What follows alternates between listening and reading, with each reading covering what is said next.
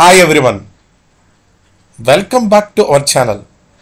Today I am going to show you a super easy trick to find your saved Wi-Fi password in Windows 11.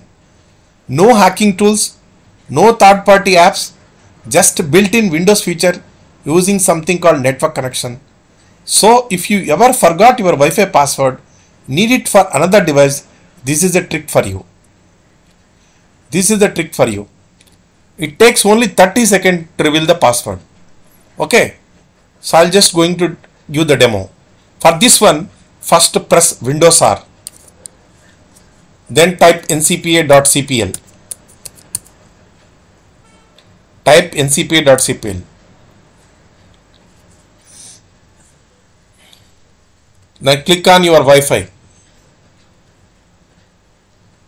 Then click on the wireless properties. Then click on the security. Then click on the show characters. Now this is the password. Okay. Hope you got understand how to crack the password in Windows 11. Please subscribe my channel. I have so many updates for the jobs also in the shorts. Please subscribe and support me for